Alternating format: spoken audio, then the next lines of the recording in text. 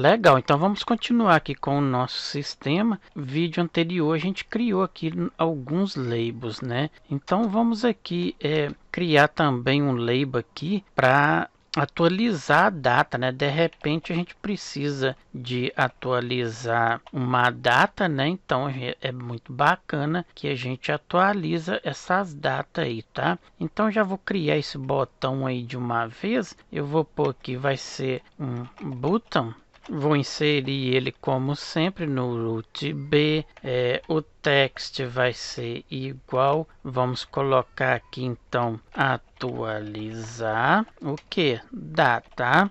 Podemos deixar ele assim. Depois a gente passa alguma cor para ele e, e coisa qualquer, tá? Então vamos deixar ele só mesmo aí é, o padrão. Vou aqui colocar o place dele eu posso colocar aqui vamos pôr aqui o que uns vou colocar aqui o x vai ser igual podemos colocar aqui uns 270 o y eu vou colocar um 100 é, vai ficar bom. Vamos criar também uma caixa de texto ou seja um label aonde a gente vai colocar ali o tipo de tratamento, né? Se é uma consulta, se é uma cirurgia, se é um teste laboratório. Então posso colocar aqui desta forma, treat que é treatment, que é aí tratamento, vai ser T-Quinter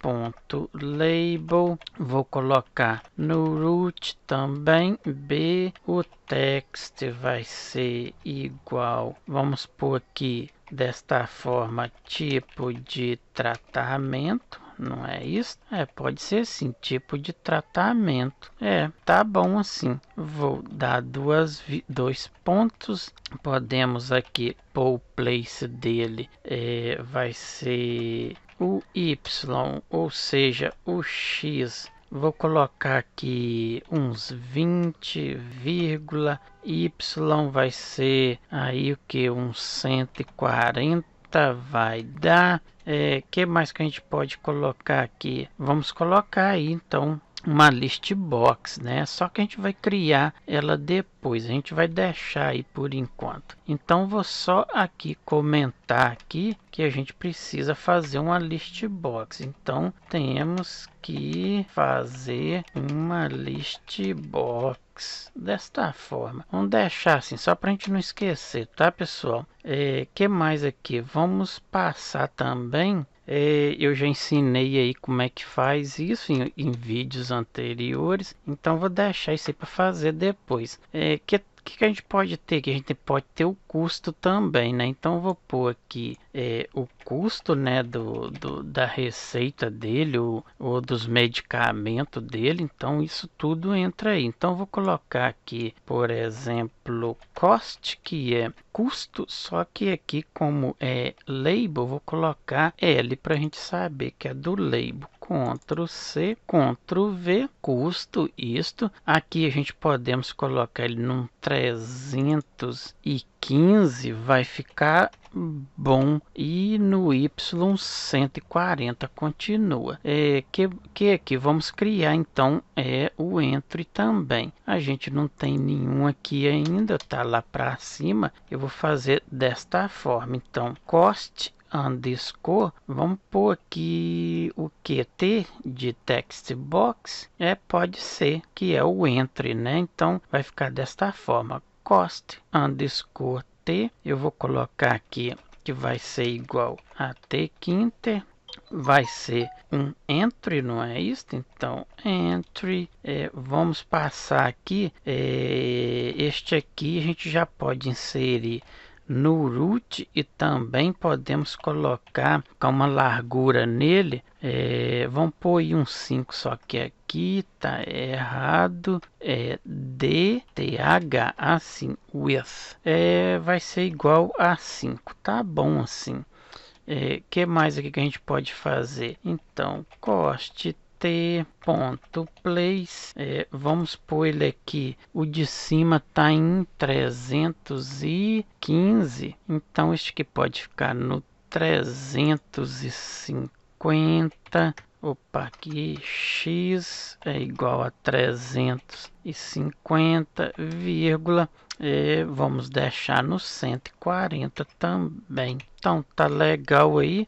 Vou aqui copiar este label, Ctrl C, Ctrl V então podemos colocar aqui também um label e a gente vai criar uma outra list box para a gente selecionar aí é, o medicamento, né? Aí o, os medicamentos que ele tomou aí, né? Que ele recebeu. Então podemos colocar aqui aqui, vamos colocar assim, selecione o que? Um medicamento ou medicina, selecionar, eu vou colocar assim, selecionar medicina, que é aí medicamento, tá pessoal? Qualquer um aí serve. Então aqui eu já vou mudar, eu vou deixar aqui como colocar assim med underscore é, pode ser aí med l de de label né Ctrl C, Ctrl V. Então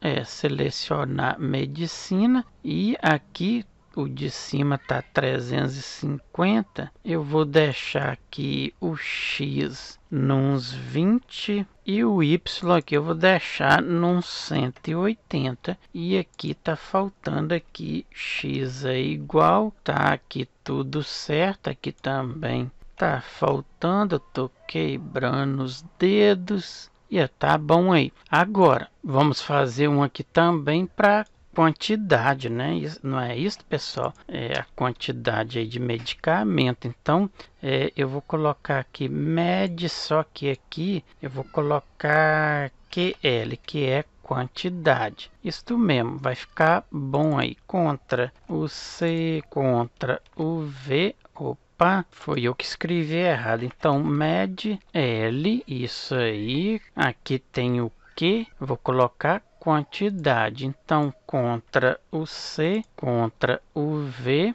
Então, aqui é só mudar para quantidade, tá? É, vou colocar tudo mesmo, quantidade. É, aqui então o x podemos deixar aqui uns 240 e o y 180 também. E para terminar aí, o que, que a gente pode fazer aqui? Vamos colocar também preço, né? Tá faltando aqui, é bom ter o preço aí. Então é só copiar contra o C, contra o V e aqui eu vou colocar é, podemos ser aqui preço, não é isto? Então, preço, e aqui eu vou mudar aqui também para ficar fácil, podemos colocar aqui desta forma, price L, para a gente ficar sabendo que saía é do preço, tá? Então, vou pôr é, o nome inteiro assim, price L, isso aí, legal. Então, vai ficar desta forma, contra o V